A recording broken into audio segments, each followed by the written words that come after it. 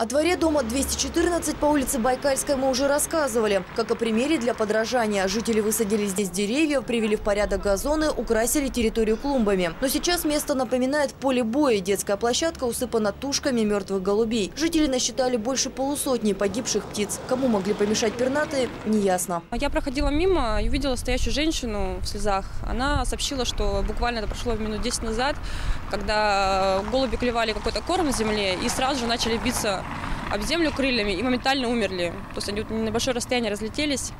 Ну, я застала эту картину ужасную, уже, уже с мертвыми птицами. По словам жителей Нижней Лисихи, эта травля голубей не первая. Летом в соседних дворах птицам неоднократно кто-то рассыпал отраву. Убирать мертвые тушки никто не собирался, хотя там же гуляли мамы с детьми, а также домашние животные. Я когда вышел с собачкой погулять, я увидел это вот куликовое поле, просто это было, ну, меня аж передернуло.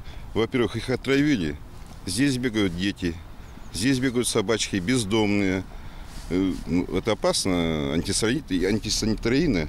Прежде чем бить тревогу, советуют специалисты, жителям стоит обратиться в ветеринарную лабораторию. Тут необходимо уже провести и бактериологический анализ, и вирусологический, и вскрытие, то есть выяснить, что, собственно говоря, птицы погибли, или их действительно кто-то отравил, или они сами что-то поели, отравились, или это болезнь какая-то, или, может быть, и кто-то, допустим, э, пострелял по ним из э, пневматического оружия. Если факт массового отравления подтвердится, тогда стоит обратиться в местное отделение милиции. Этот случай можно отнести к 245 статье Уголовного кодекса «Жестокое обращение с животными». Но на этот раз виновник, скорее всего, останется безнаказанным. Всех птиц во дворе убрали буквально через несколько часов после происшествия. Екатерина Семиусова, Александр Мокин. Новости сейчас.